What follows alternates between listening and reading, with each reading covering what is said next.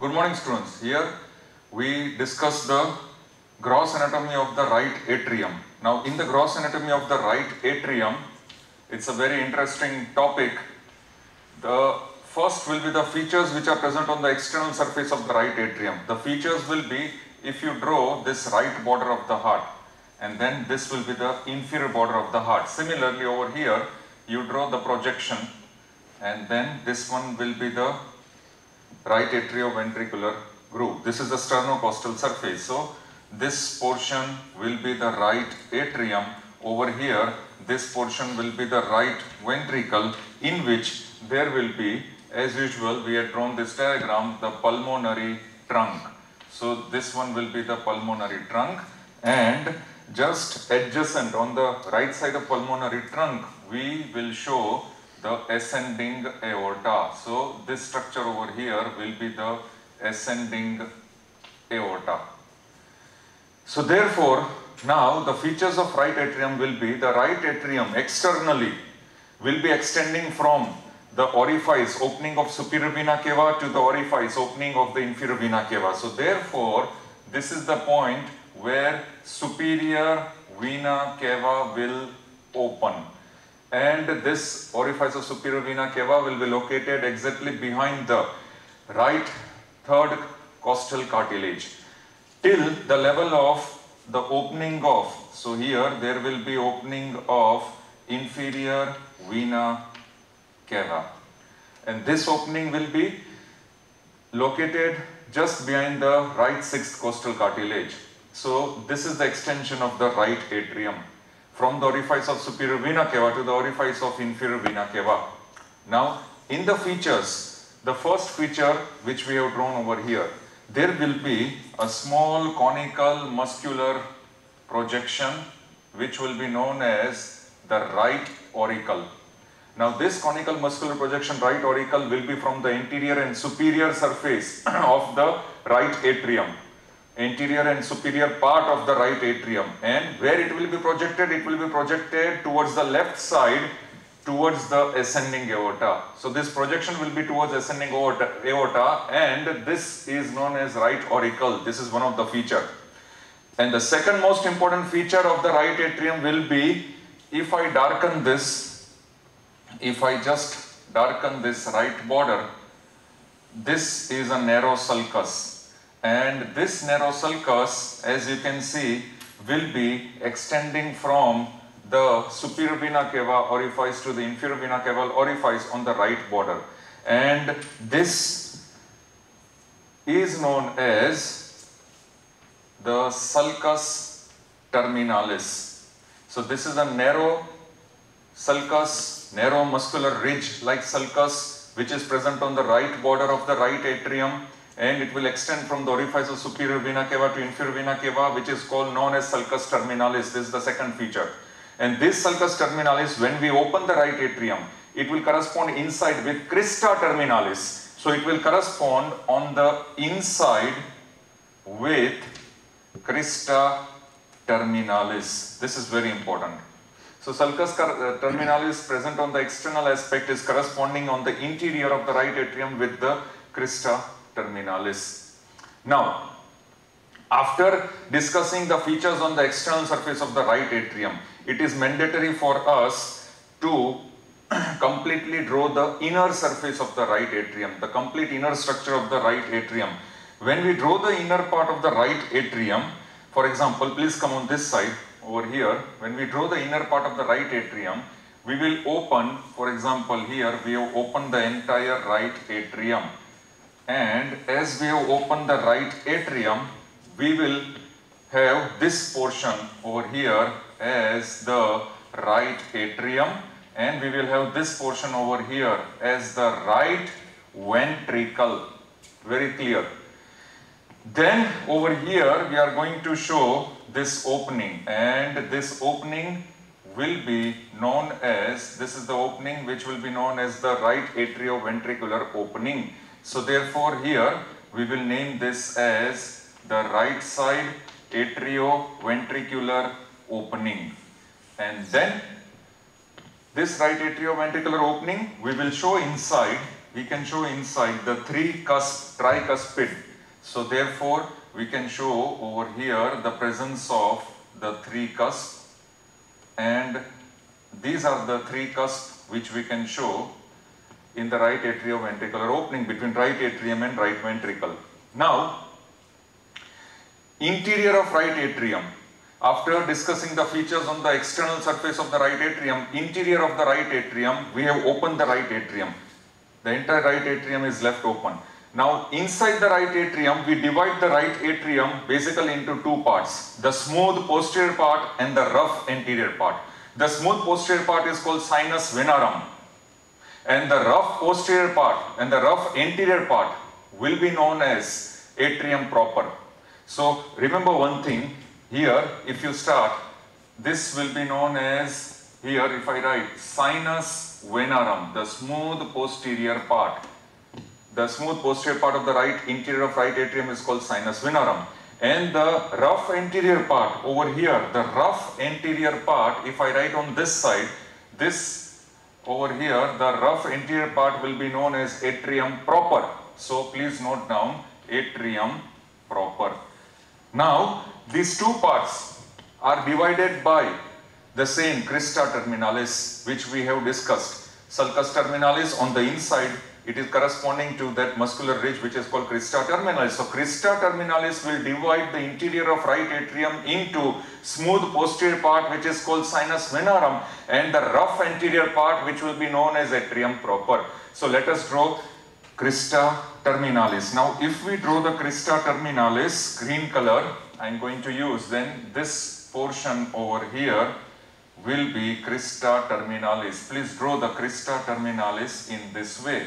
So this is the crista terminalis.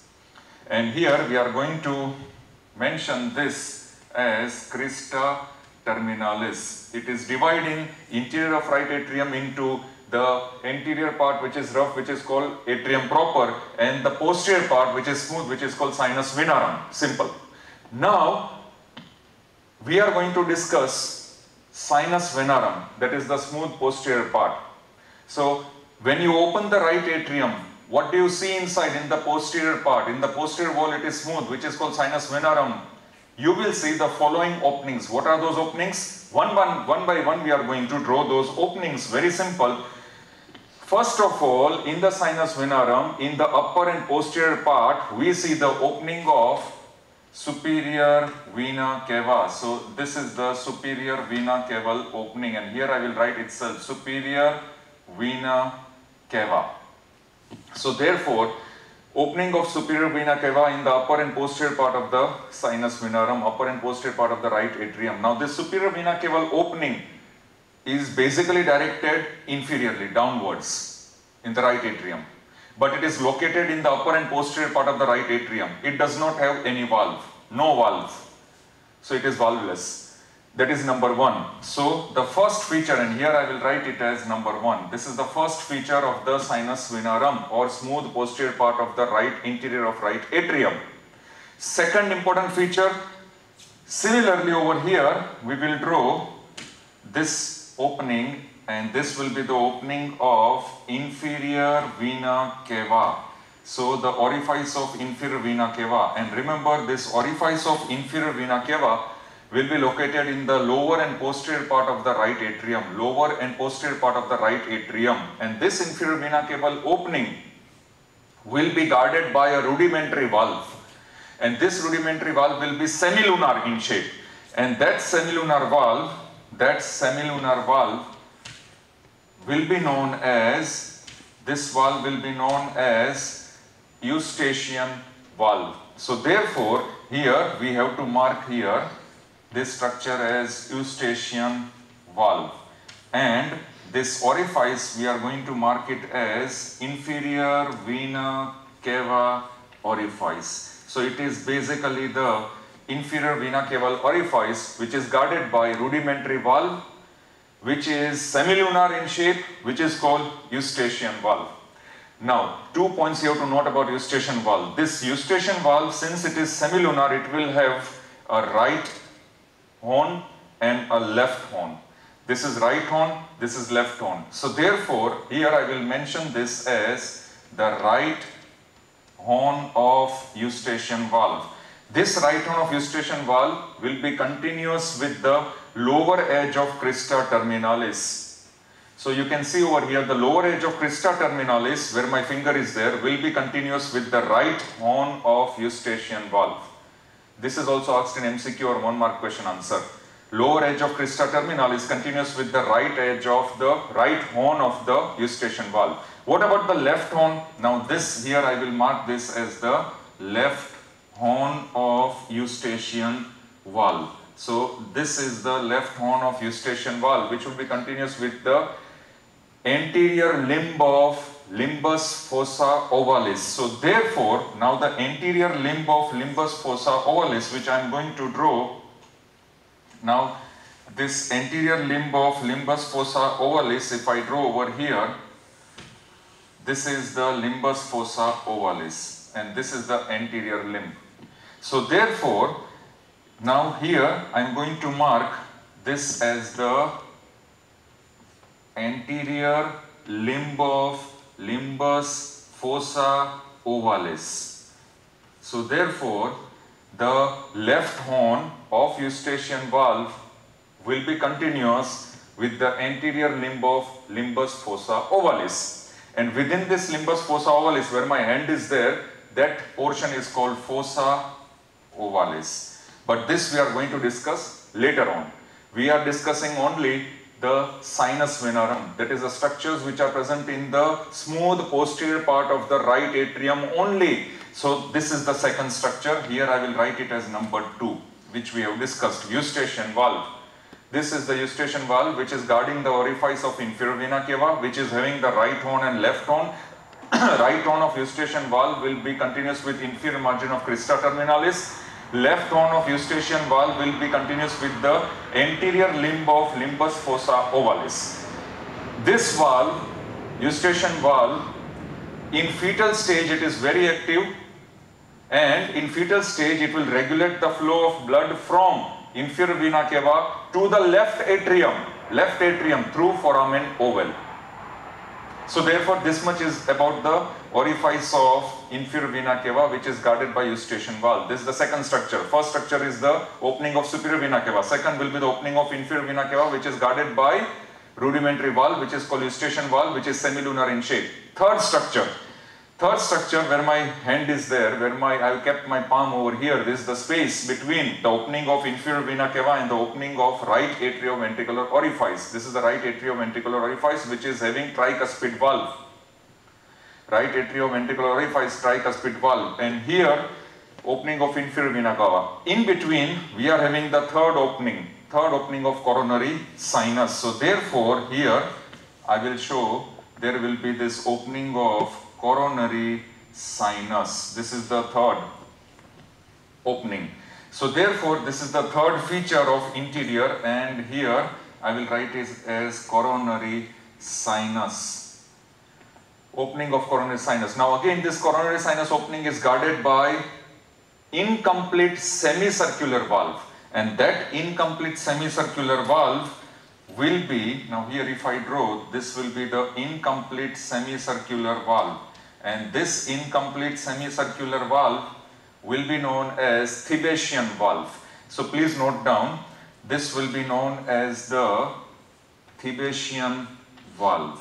So therefore, this is the Thebesian valve. I hope this is visible, Thebesian valve. So therefore, this is incomplete semicircular valve. Now remember these two valves, they are many times asked in MCQs or one mark question answer that uh, Eustachian valve is the valve of inferior vena cava, multiple choices, and Thebesian valve is the valve of coronary sinus opening. The orifice of coronary sinus is guarded by incomplete semicircular valve which is called Thebesian valve. Please note down, you have to remember this. So this is the Thebesian valve which will guard the opening of coronary sinus. And where is the opening of coronary sinus located? It is exactly located between the opening orifice of inferior vena cava and the right atrioventricular orifice. So this is structure number, here I will write it as structure number 3. So this is the third opening within the sinus venarum. Fourth opening, now in the fourth opening, the space which is present in the most posterior part of sinus venarum here will be, there will be very small openings of foramina venarum minimarum. So these openings are themselves known as foramina venarum minimarum. So here I am going to mark, I will mark on this side. Please come on this side. So here I am going to mark as the foramina venarum minimarum. So these are the small minute openings of veni cordis minimi. These foramina venarum minimarum are small minute openings of veni cordis minimi and here there will be opening of anterior cardiac veins and sometimes the right marginal vein. So these openings of foramina venarum minimarum in which they are minute openings of veni cordis minimi will receive openings of anterior cardiac veins and very rarely sometimes the right marginal vein. So this structure will be number 4 and number 5 Sometimes there will be a conical muscular tubercle which is present just below the opening of superior vena cava. There will be a small conical muscular tubercle beneath the opening of superior vena cava over here. But this tubercle is known as intervenous tubercle. This tubercle will be known as the intervenous tubercle. But this tubercle is scarcely present in humans. It is present in quadrupeds. So it is hardly visible in humans, but it is mostly present in quadrupeds. What is it basically? It is a small conical muscular project, projection which is present just beneath the opening of superior vena cava, which is called intervenous tubercle. So here this one will be known as structure number 5. So once again, interior of right atrium in the smooth posterior part which is called sinus venarum. What are the features? What are the structures that are present? Number one, opening of superior vena cava. Number two, opening of inferior vena cava with its rudimentary semilunar valve which is called eustachian valve. Number three, opening of coronary sinus with its incomplete semicircular valve which is called Thebesian valve. And number four, foramina venarum minimarum. And number five, intervenous tubercle. So here we complete the sinus venarum part or smooth posterior part of the interior of right atrium. Thank you very much.